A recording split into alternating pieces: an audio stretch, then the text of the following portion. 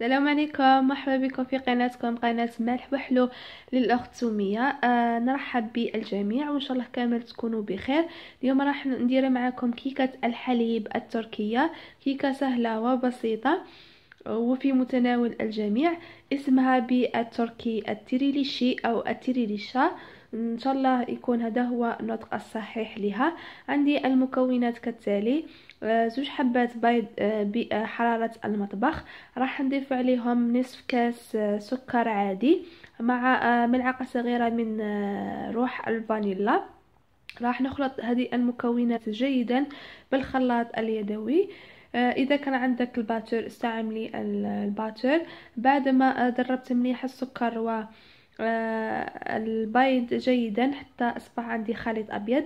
راح نضيف عليها نصف كاس زيت بالتدريج كما راكم تشوفوا. ونقعد آه، ندرب حتى تنتهي كمية آه، الزيت اللي عندي.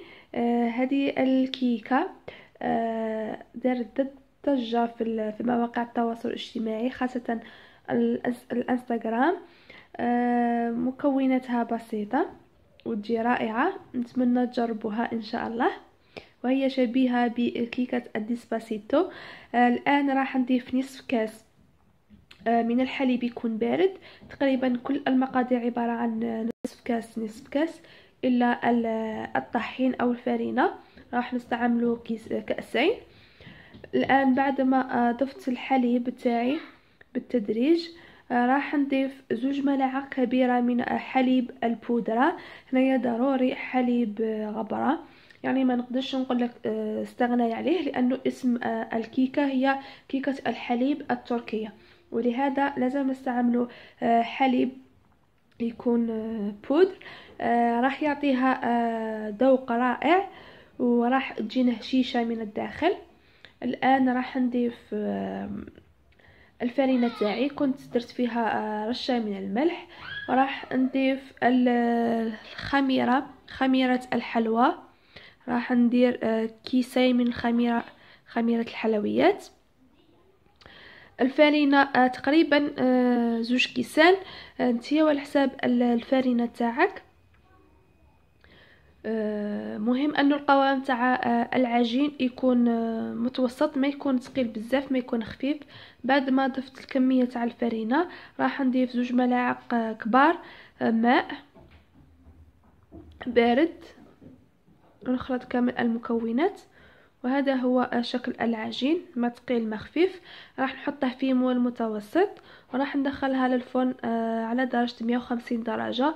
كل وحدة والفرن تاعها لمدة 20 دقيقة. راح نحطها على فرن يكون بارد. آه، مانيش حابة نسخن الفرن تاعي آه، لأنه أني حابة الكيكة تاعي تطلع لي على مستوى واحد. لأنه كما تعرفوا كي نسخن الفرن راح تطلع بسرعة وراح تشكل لي في الوسط على شكل حفرة وأنا مش حابة يكون هذا الشيء. ندخلها الآن نمر إلى المرحلة التالية. عندي هنايا صوص كراميل. كنت حضرته معكم في الفيديو السابق. راح نحط لكم الرابط أسفل الفيديو. راح نستعمله كطبقة ثانية فوق التحلية تاعي. راهو بارد. بعد ما طيب الكيكه راح نحطه عليها من فوق الآن راني طيبت الكيكة تاعي. آه هذا هو شكلها بعد ما طابت. شوفوا كيفاش تجي شيشه وهذا بفضل الحليب آه بودرة. كذلك فيها هذوك النقاط آه حمراء بسبب آه تحمر هذاك الحليب. الآن راح نتقبها بهذا الشكل وراح نشربها. بالحليب يكون بارد نصف كاس حليب. ونخليها لنصف ساعة ترتاح في الثلاجه ونمر إلى الطبقة الثانية اللي راح تكون آه، بالكريم شونتيي الطبقة الثانية نستعمل كريم شونتيي والطبقة الثالثة آه، نستعمل صوص كراميل اللي كنا حضرناها مع بعض. ندخل الكيكة تاعي تبرد لي نصف ساعة ونرجع لكم إن شاء الله. آه راني خليت الكيكة تاعي بردت لي نصف ساعة. راح نضيف عليها الطبقة الثانية اللي هي عبارة عن آه، كريم شونتي طلعت خمس مغارف كبار كريم شونتي مع نصف آه، كاس حليب. ضروري هنايا الكيكة تاعكم تكون باردة باش الكريم شونتي تاعنا آه، يعني ما توليش سائلة ما تذوبش وتقعد متماسكة.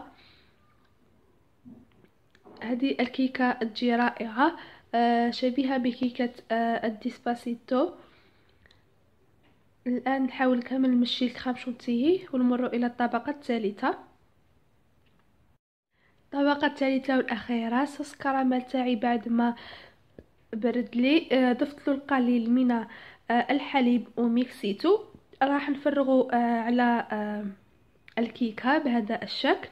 استعمالات هذا الصوص كثيرة جدا. من بين هذه الاستعمالات أنك تزيني بها الكيكات اليومية كما راكم تشوفوا بهذه الطريقة.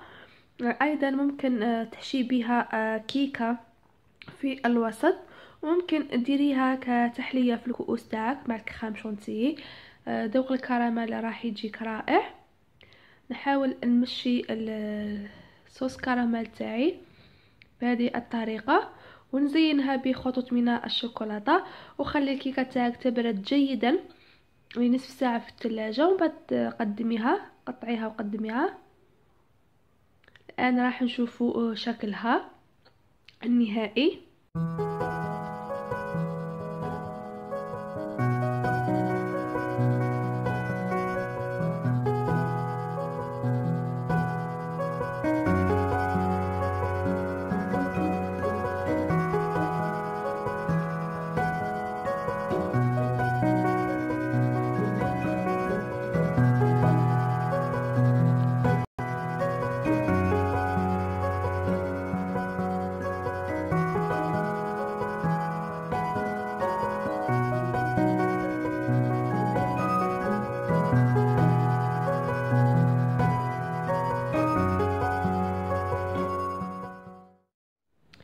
وهذا هو آه، قوام التريليشي آه، من الداخل. آه، صدقوني تجي رائعة وهذاك الكيكة راح تتشرب مليح. هذيك الصوص كراميل وكريم شونتيي إذا عجبتكم الكيكة التركية ما تبخلونيش بجام والاشتراك بالقناة مع تفعيل الجرس وإلى الملتقى إن شاء الله.